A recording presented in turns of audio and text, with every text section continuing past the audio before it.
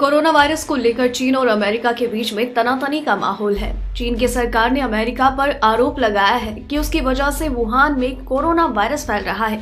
चीन के एक सरकारी अधिकारी ने कहा है, अमेरिकी सेना ने वुहान में कोरोना वायरस फैलाया था। इसके बाद से ही ये पूरी दुनिया में फैला है।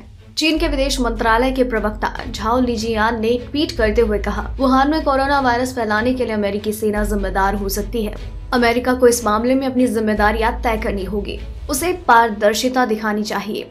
झाओ लिजियान ने चीन का बचाव करते हुए कहा US centre for disease control CDS निदेशक रॉबर्ट रेडफील्ड ने भी ये कहा था कि हमारे कुछ अमेरिकी इन्फ्लुएंजा की वजह से मारे गए हैं। ये लोग चीन के कोरोना वायरस से संक्रमित हुए होंगे। इसके लिए चीन जिम्मेदार है।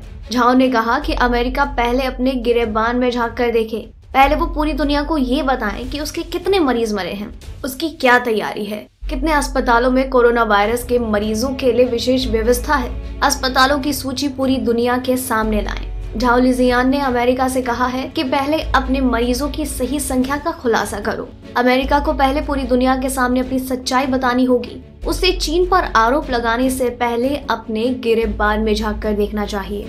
अगर आपको रिपोर्ट पसंद आई तो इसे लाइक और शेयर करें। साथ ही अपने व्यूज़ हमें कमेंट करके ज़रूर बताएँ। डेली ट्रेंडिंग न्यूज़ की रिपोर्ट। सब्सक्राइब करें हमारा चैनल ऐसी ही लेटेस्ट और इंटरेस्टिंग न्यूज़ के लिए।